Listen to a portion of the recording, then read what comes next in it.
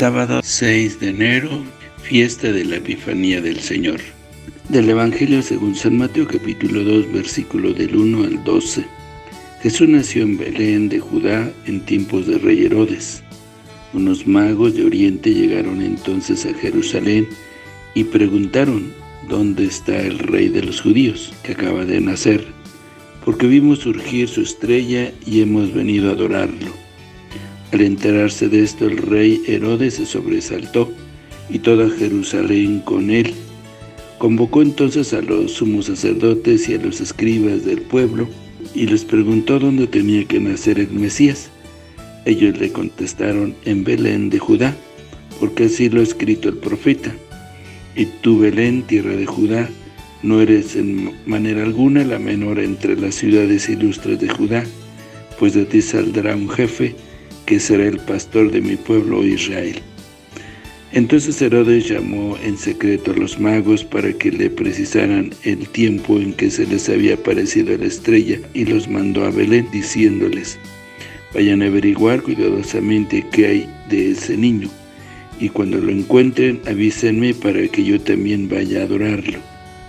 Después de oír al rey, los magos se pusieron en camino, y de pronto la estrella que habían visto surgir comenzó a guiarlos hasta que se detuvo encima de donde estaba el niño. Al ver de nuevo la estrella se llenaron de inmensa alegría. Entraron en la casa y vieron al niño con María su madre, y postrándose lo adoraron. Después, abriendo sus cofres, le ofrecieron regalos, oro, incienso y mirra. Advertidos durante el sueño de que no volvieran a Herodes, regresaron a su tierra por otro camino. Palabra del Señor. Gloria a ti, Señor Jesús. El Evangelio de hoy nos reporta tres actitudes antes del nacimiento de Jesús. Herodes tiembla, a los sacerdotes y escribas no les interesa y los magos de Oriente lo buscan hasta encontrarlo y adorarlo. La respuesta de los magos es verdaderamente ejemplar. Ellos más que magos y más que reyes, son nuestros padres y maestros en la fe. Es una historia de fe. Destaquemos algunas enseñanzas. Primero, la capacidad de ver la estrella. ellos están abiertos a la llamada de Dios, son vigilantes, hombres de oración, saben distinguir perfectamente los signos de los tiempos. No son hombres distraídos o cerrados. Escuchan la voz del cielo y la de su propio corazón, su yo profundo. Segundo, su disponibilidad para dejar todo y ponerse en camino. No son hombres instalados, apegados a cosas y lugares, porque viven de esperanza. Son hombres libres de toda atadura y libres para toda aventura, hambrientos de luz y de Dios. Tercero, su constancia en el seguimiento de la estrella. No les faltaron dudas y pruebas en el camino. La estrella a veces jugaba con ellos y se sentían ridículos y sentirían la tentación de volver a lo desconocido como los hebreos en el desierto. Cuarto, su responsabilidad en la búsqueda. La fe es don de Dios pero exige nuestra colaboración. La fe no está reñida con la reflexión, el diálogo y la oración. Hasta los incrédulos pueden recibir alguna luz.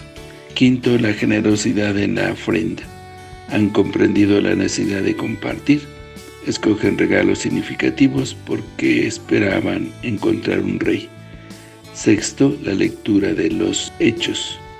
Cuando la estrella se para ante la casa pobre, no se escandalizan y lo, y lo reconocen como Mesías.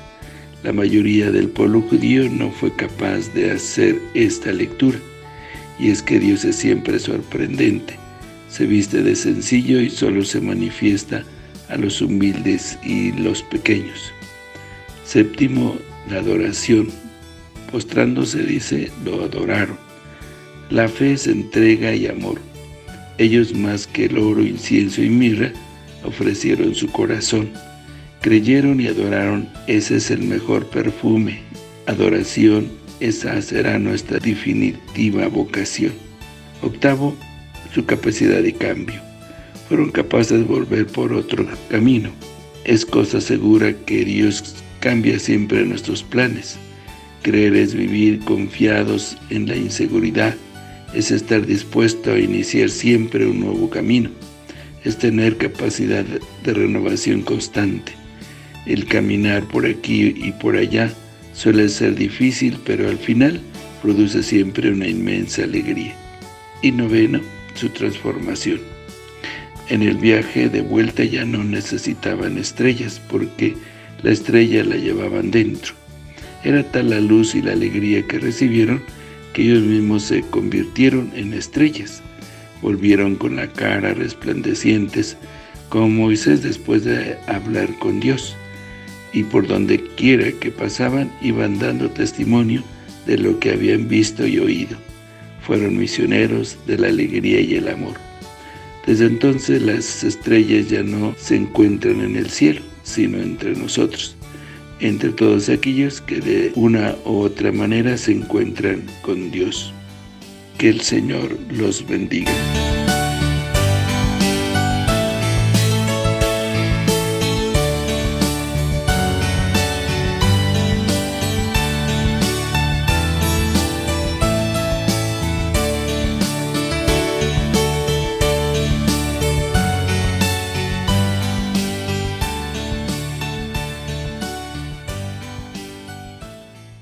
La bendición de Dios Todopoderoso, Padre, Hijo y Espíritu Santo, descienda sobre ustedes, que los acompañe siempre. Que el Señor los bendiga. Si te gustó este video y deseas seguir recibiendo el Evangelio, misa en vivo, oraciones y muchas reflexiones más, ayúdanos a seguir creciendo. Suscríbete a este canal de YouTube. Activa la campana de notificaciones. Deja tu comentario. Dale me gusta. Y compártelo con todos tus seres queridos. Que el Señor te bendiga a ti y a toda tu familia. Bendiciones.